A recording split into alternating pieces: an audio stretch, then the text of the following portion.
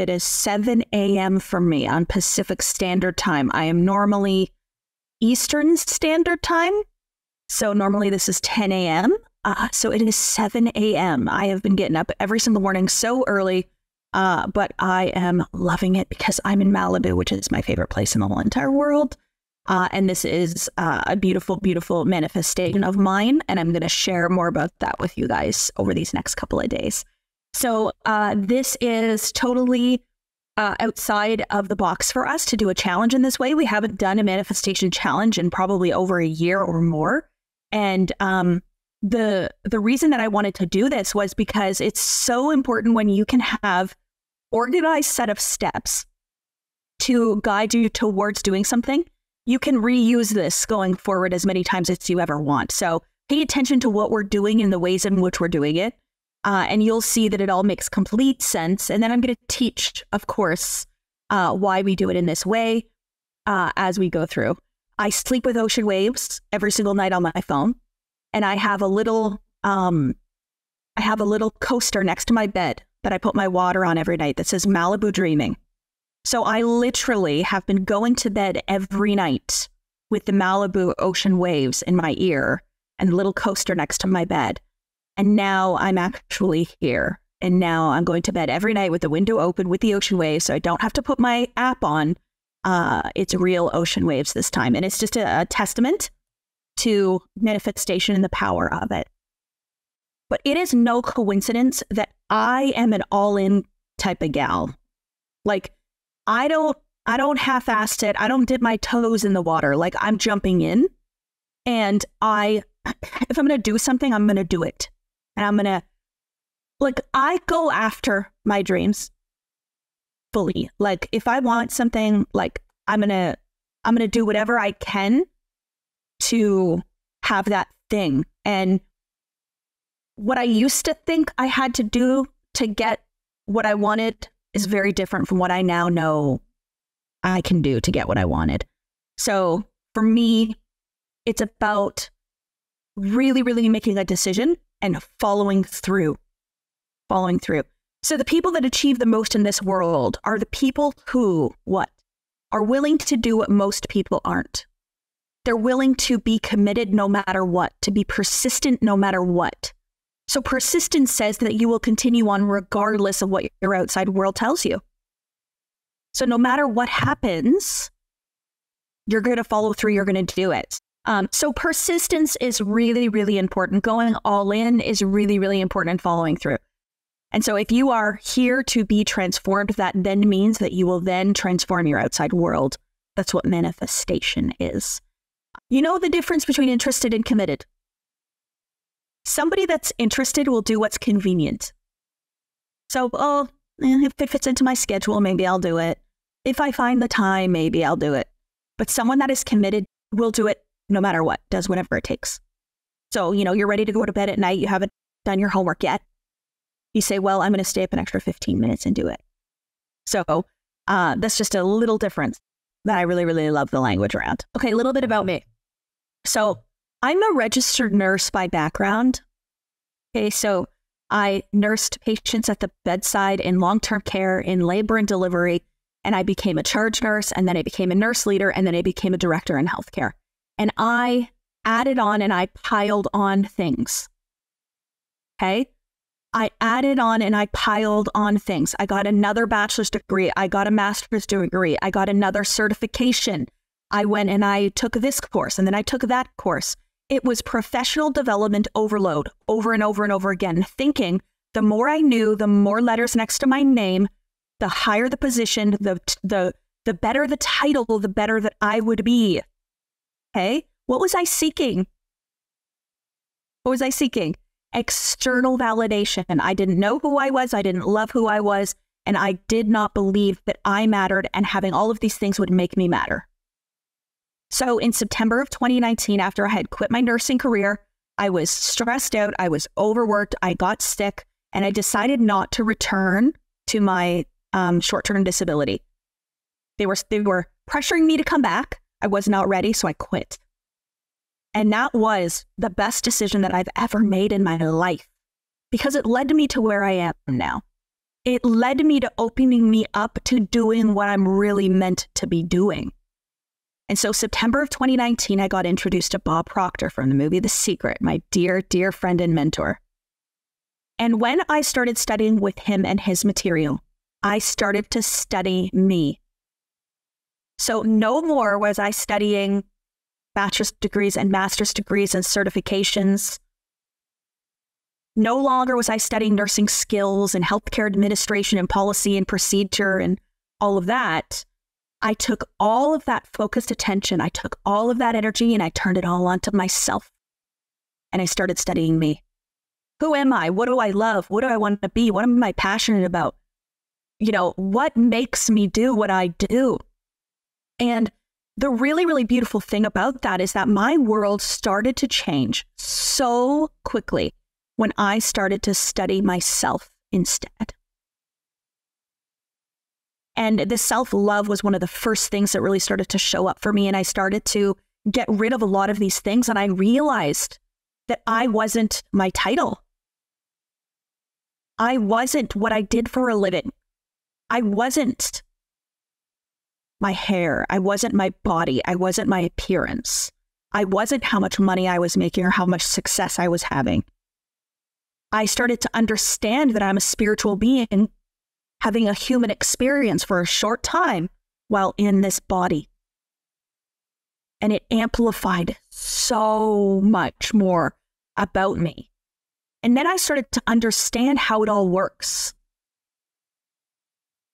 I started to understand how I will work and how I can become consciously aware of the unconscious patterns and programs that are happening so that I can turn it around and step into what I called greatness or my extraordinary life. And the more I started to study me, the more I allowed myself to want greater things in my life. I started to want more time freedom. I started wanting more financial freedom. I wanted to have more independence. I wanted to travel the world more. I no longer wanted to commute an hour to a job that I worked for 10 hours a day, commute home, make the family dinner, do the dishes, watch a TV show, and go to bed. I wanted an extraordinary life. Extraordinary, which means out of the ordinary. We all create these ordinary lives because we're taught to do that. We are just taught to just follow these motions. And then have you ever sat there like at the end of a day and it's literally Groundhog Day and you've done the same thing every single day for the past 10 years and you sit there and you go, is this really what this is all for? Is this really what life is about? Just the same thing over and over and over again? And so I fell in love with the idea that there's an extraordinary life that exists for me. And once I tapped into that and I built that desire, it all started to show up for me. TV shows and people wanting me to write a chapter in a book that went bestseller. And then I started to grow my, side. I had a side business. I had a network marketing business first. That started to take off like crazy. The more that I existed in this material, the way, the more I thought like this and I felt like this and I behaved like this. And I'll show you what I mean by like this, this version of me, the more things all started to come to me. So January of 2020, right before COVID, I launched my coaching business. I decided to teach this material. I decided this is my purpose, this is my passion. Let's go. Let's do this thing. I told Chris, my husband at the time, uh, we are going to, I'm going to make $300,000 in the next four months. I'm going to do that. And he's like, okay, okay, lady. Uh, and so we went $50,000 in debt to start my business uh, for me to become a coach. Uh, and I made a million dollars in seven months. So from January to July, I brought in a million dollars. By the end of that year, 3.3 million. The next year, 12 million.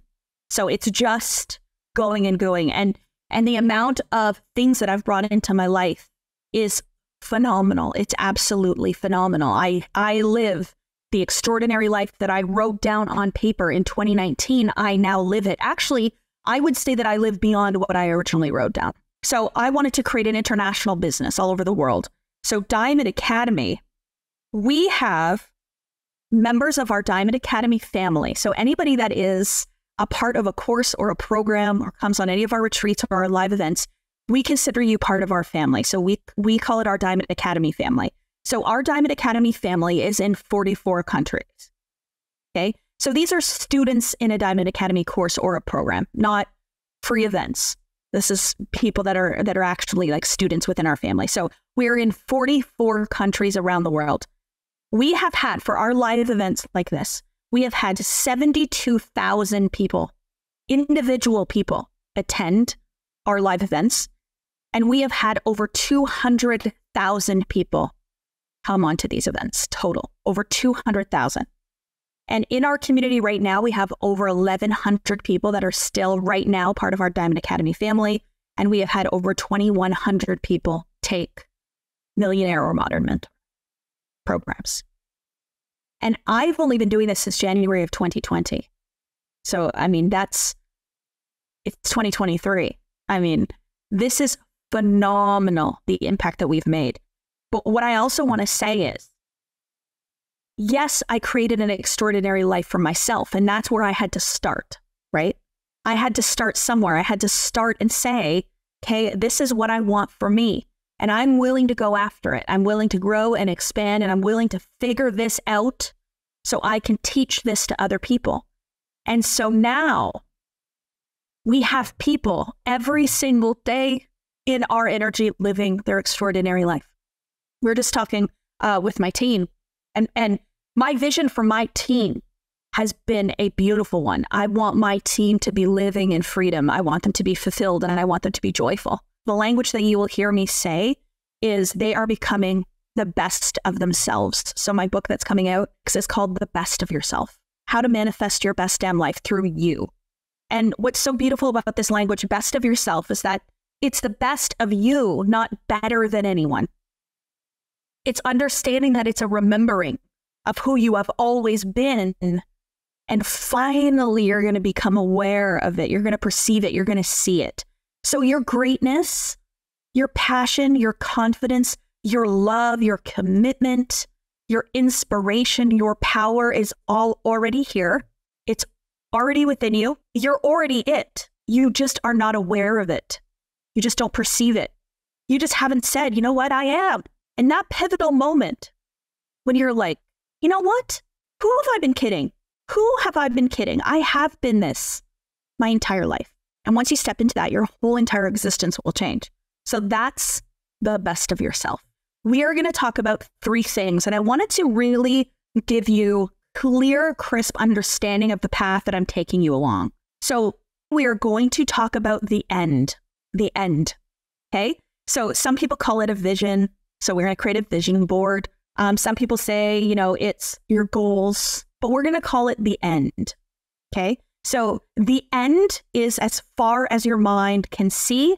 It's your end of the realm of infinite possibility. So anything and any, everything is entirely possible for you. You can have whatever the heck you want as far as your mind will take you.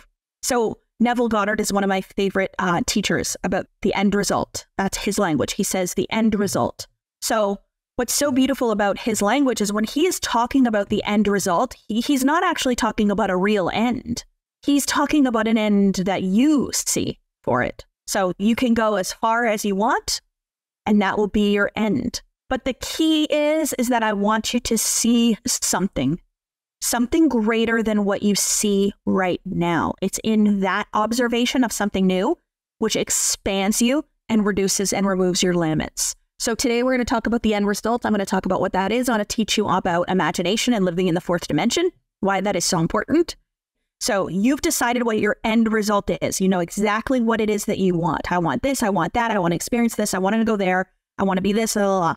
Once you've created that and you have it and you're ready to go, you do not stop there. They're like, okay, this is what I want. No, you have to answer a very important question. Who do I need to be to have all of that? Because who you are right now has created what you have right now. What you observe today was created by the identity that you see yourself as right now. So, who you think you are in this moment created the life you experience right now. So, in order to create this new end result, this new place, you must become a new version of you.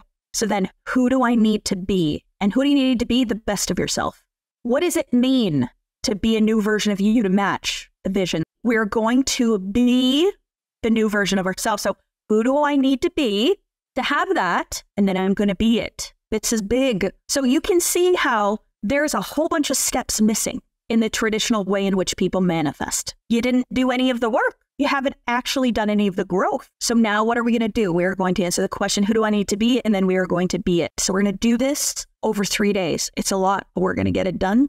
I'm going to show you how to do it. The whole entire reason for doing a manifestation challenge is because you want more for your life. There is something within you that's saying, I meant for more, or I would love more, or I don't have it yet, but I really would like it. There is a desire in there. And so we cannot manifest something unless we know what we want. And many of us don't know. We have no idea what we would love. Many of us don't even ask ourselves that question. We think about what would be good for our children, what would be good for our spouses, what would be good for our careers, what would be good for our homes that we live in, what would be good for my mom and dad, what would help them. The question wasn't what would my kids love, what would my husband love, what would my parents love. The question was what would I love? What would I love? But answering the question of what would I love, it takes you immediately into the realm of infinite possibility. It puts you onto the creative plane.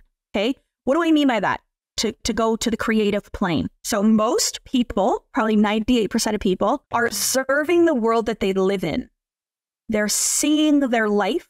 They're having an emotional reaction to their life. And then they're vibrated to match their life that they observe, that they see. And then they attract from there. You're you're doing is you're seeing, you're feeling, and then you're attracting. So you're just creating everything that you see right now. So what we want to do instead is we want to think from what we would love. We want to feel from what we would love, and we want to vibrate as a match to what we would love.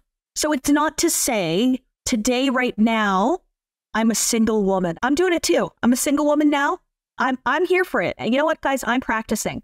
I'm practicing manifestation for all of you. So I'll let you know my learnings. Um, but the funny thing about that, though, is that if you're a single person and you want love in your life, you want love, passionate, real love, you can't be sitting over here in the vibration of, I don't have love. I need love. Where is it? You're not attracting passionate, strong, powerful love. You're attracting people that don't love themselves, that don't care a lot, that probably just want something casual. So, in order for you to attract real love into your life, you must be real love now. So, you must feel the wholeness of who you are. You must realize that you don't need love in your life. You are love. And once you realize that, the love will find you because you will pull it and you will draw it to you. I've read this book called Single on Purpose. I think it's brilliant. It's not that you're choosing to be single forever on purpose. It's that you're understanding that who you are in this moment right now does not need anybody else. I've been walking this beach every night. I walked it two hours the other night and I walked it an hour last night. Would I love to walk this beach with the love of my life and watch the sunset? Yeah, why not?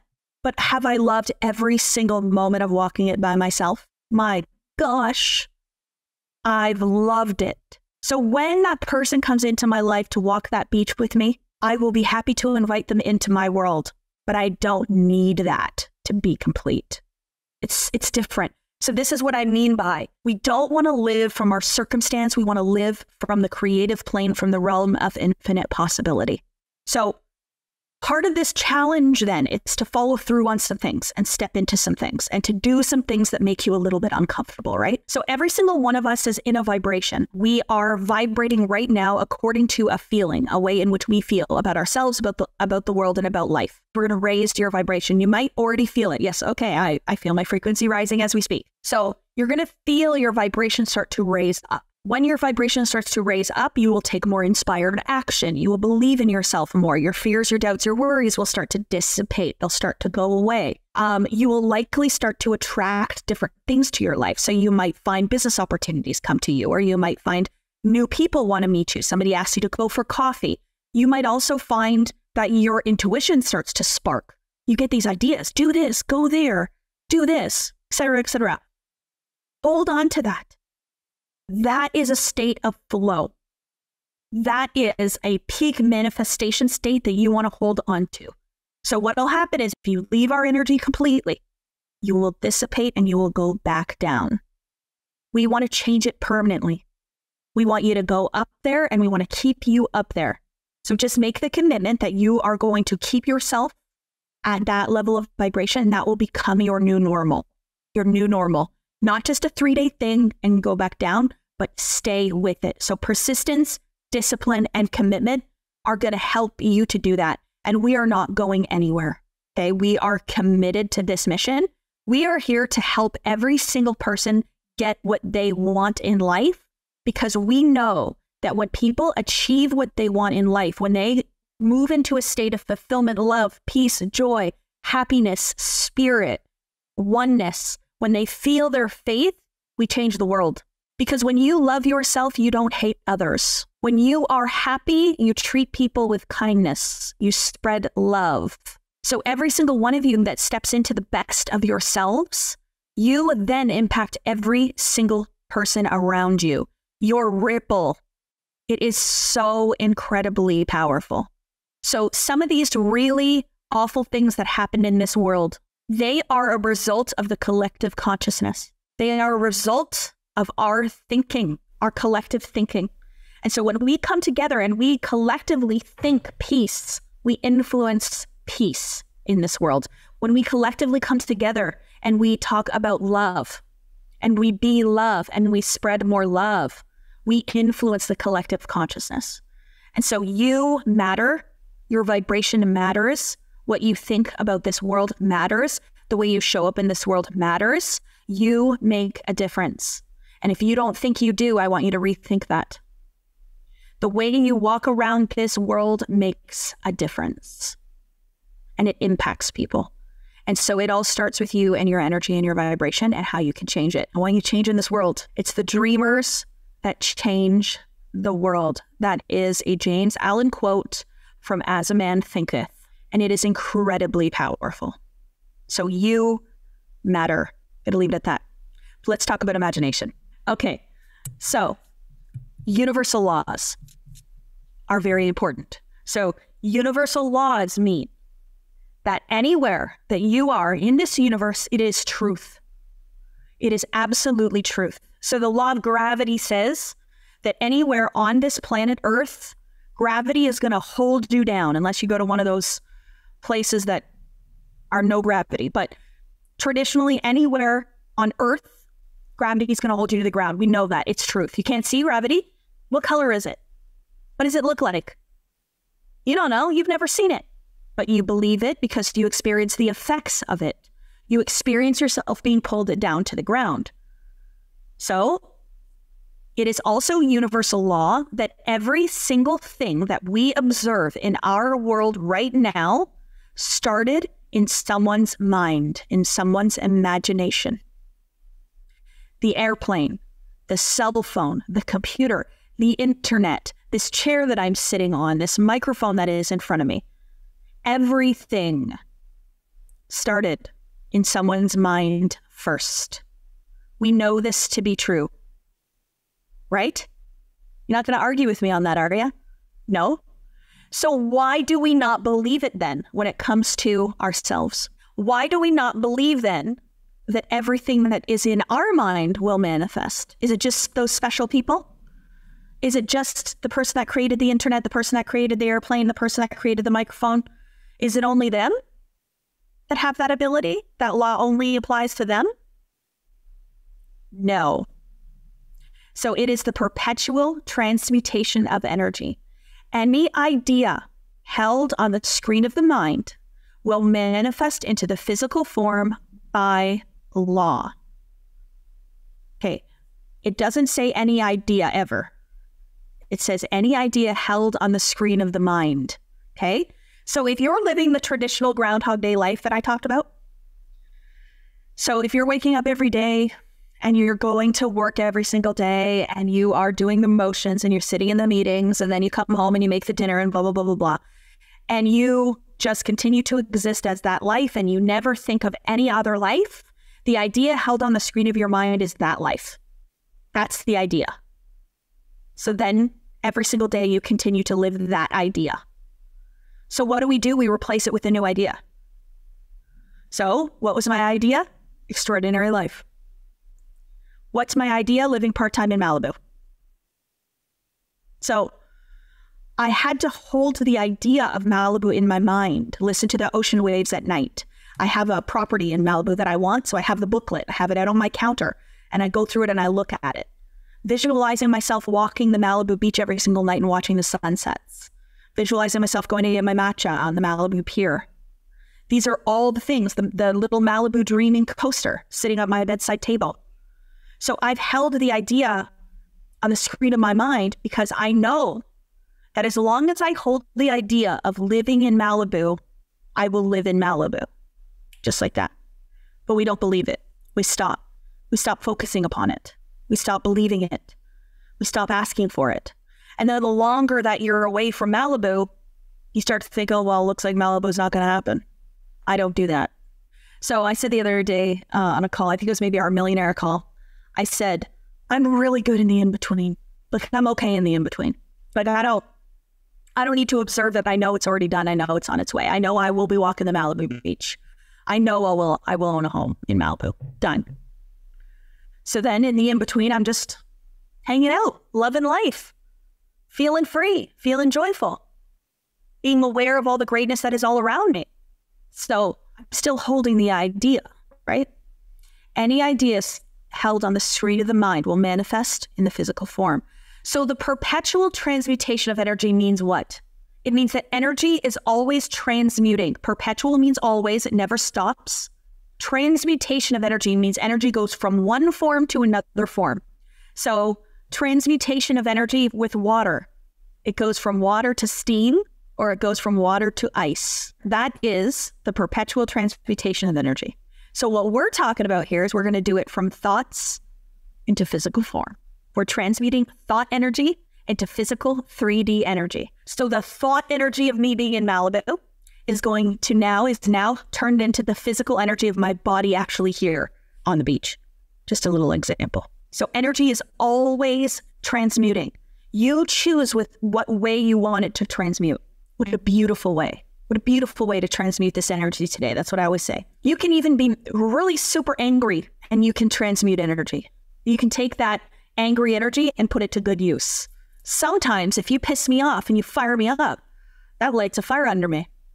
That's me that puts me into action. So I've transmuted a negative feeling of anger into a positive thing. Make a bigger difference in the world. Oh, you tell me I can't do something? Okay, I'm going to show you. So transmutation of energy, perpetual transmutation of energy means that it's always transmuting. So let's talk about the example of every day living the same life over and over and over again. You go to the same job for 35 years, you have the same dinners, you go to the same restaurants, you go on the same uh, trip every single year. There's still the transmutation of energy, there's still that perpetual transmutation.